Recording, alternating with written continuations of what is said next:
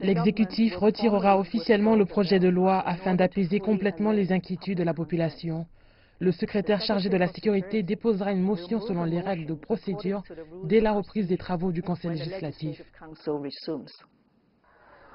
Pour sa déclaration, l'âme a noté que la violence persistante avait porté atteinte au fondement même de la société, en particulier à la règle de droit.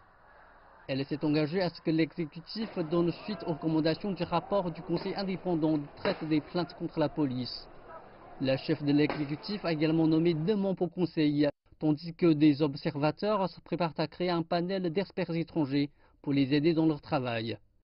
Elle a ajouté qu'elle travaillerait avec les autres hauts responsables pour entamer un dialogue, s'attaquer aux causes du mécontentement social et trouver des solutions.